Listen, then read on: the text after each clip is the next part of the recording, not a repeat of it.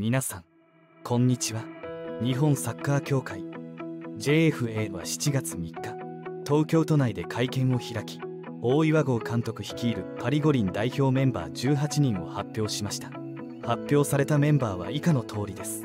ゴールキーパー国保レオ・ブライアンベンフィカポルトガル野沢大使ブランドン FC 東京ディフェンダー関根弘樹柏レイソルハンダリクガンバ大阪大畑歩浦和レッズ高井浩太川崎フロンターレ木村誠二サガン鳥栖西尾龍也セレッソ大阪ミッドフィルダー藤田ジョエル千葉シント・トロイデンベルギー山本理人シント・トロイデンベルギー川崎壮太京都サンガ FC 水戸俊介。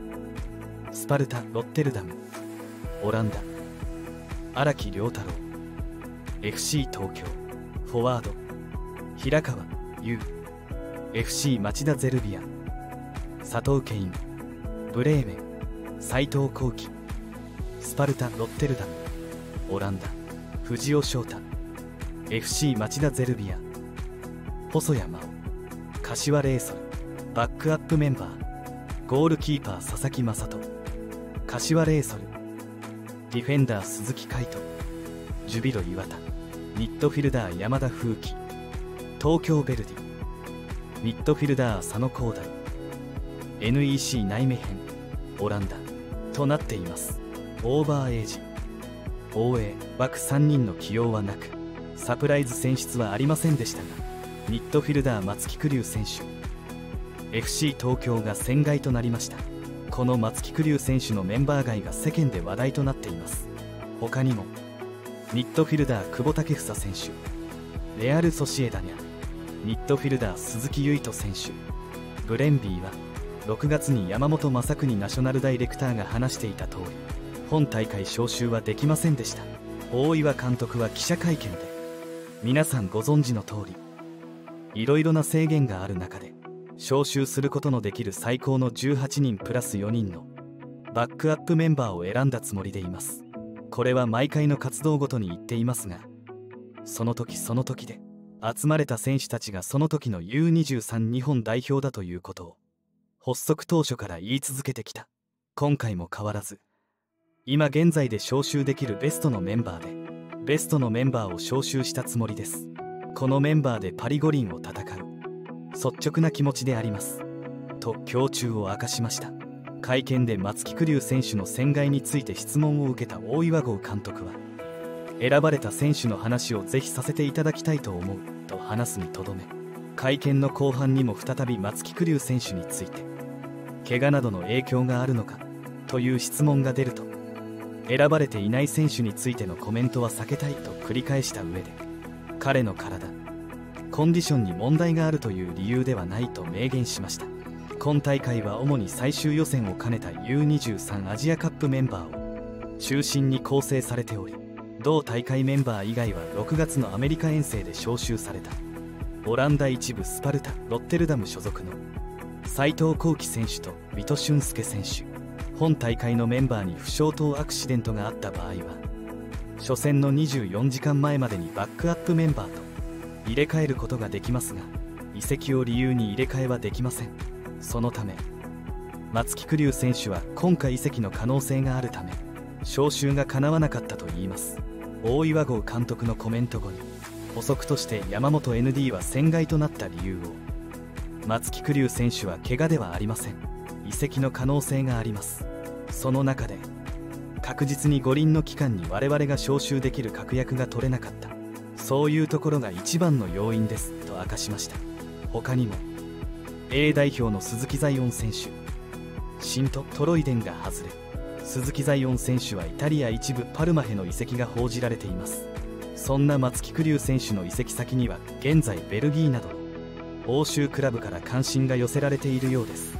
この山本 ND の補足発言に対し SNS で様々な反響がありました。松木君はやっぱ移籍の話が出てるんやな。所属クラブじゃないのに。ここまで話しちゃってよいのか。わら松木玖生移籍濃厚かよ。というか。FC 東京が発表する前におもらししたらまずくない。山本さん。松木は移籍の可能性があります。って言っちゃったよ。みんな大岩さんの話で察しただろうに。などと。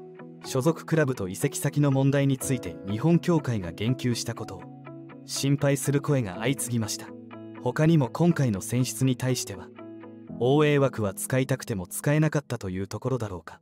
かつてと違って欧州組はほとんどがチームの主軸だし OA 枠で招集したいような選手ならなおさら。地元開催だった東京五輪はともかくパリでは強制力のない招集に所属チームが難色を示すのも当然といえば当然の話。決まった以上はこのメンバーで頑張ってほしいね。松木選手の落選はチームの戦力ダウンは間違いないと感じます。彼のバイタリティメンタル得点力はチームに必要だったと思います。佐藤選手はアジア予選ではダメダメでしたがそれまでの代表戦でのキレや突破力は良かったと思うので選ばれたからには本大会までに。コンディションを戻して手のひら返しさせてもらいたいです。応援も含めていろいろ厳しい条件かと思いますが日本からしっかり応援します。この世代の底力に期待。まあいろいろな意見はあると思うけど応援ゼロでもいいかなって思う。メダルを取るためなら必要なのは確かだけどオリンピックという大きな国際大会に参加。経験するだけでも若手選手には大きな影響を与えるに違いない。もちろん我々の知らない所属チームの事情もあったと思う。ただオリンピックよりもワールドカップの方が大切。間違いなく若手の成長が必要になってくるし一人でも多くその経験をさせた方がいい。自分はそう考えてるな。東京オリンピックの時と比べると本気でメダル獲得目指してる感はだいぶ薄れたから。まあ今や A 代表メンバー含め海外クラブの主力選手が多くて調整が難しいだろうしメダルが取れなくても日本の将来を担う選手たちの良いステップアップの機会になってほしい。松木選手が外れて思わず声を出すほど驚きました。どの専門家が選ぶ18名にも絶対入っていた選手なので選ばれた選手は外れた選手の悔しい思いをしっかり受け止めて魂込めて戦ってこい。あまりこの世代の試合は見てないけど松木の戦外で騒がれている中で選ばれた選手たちが五輪で気合入ってたら今後の良いアピールになると思う。優勝してみろよこれで。ザイオン戦外ということで。スタメンは国母だろうから最高の就活の場にしよう。信徒という話もあるけど。まだまだわからない。評価を高める大会にしてほしい。ところで戦外のメンバーについて。ザイオンは移籍関係で間違いないけど松木が外れるとはね。オフシーズン早々にヘーレンフェーンの噂あったけど。あれから1ヶ月以上経ったけど今のところ進展はなし。もしかして水面下で動いているのかな？戦力外による戦外ではないだろうから気になるところ。選ばれたメンバーについてはおおむね順当。正直言って難しいだろうけど。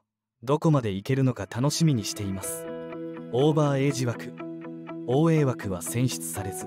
選ばれなかったのは2008年北京五輪以来16年ぶりとなった。この情報はリークされてて。サプライズではなかった。サプライズは松木の落選。ハードワークできて精神的にもタフでこの世代の支柱の一人だと思うし会見で松木は移籍予定と明かされたので決まるといいなと思います。そしてメンバー的にはゴールキーパーを除き国内組のみの守備陣が不安で期待値は低いですが一つでも多く上に勝ち上がってほしいです。応援してます。さまざまなコメントが寄せられていました。大岩ジャパンは4月から5月に行われたアジア最終予選を兼ねた。U23 アジアカップ。カタールで優勝を遂げてパリ五輪切符を獲得。アジア王者として五輪に臨みグループ D で24日にパラグアイ。27日にマリ。30日にイスラエルと対戦します。大岩ジャパンの五輪活躍に注目が集まります。最後までご視聴いただきありがとうございました。コメントを残してくださると嬉しいです。チャンネル登録高評価もぜひお願いします。それではまた。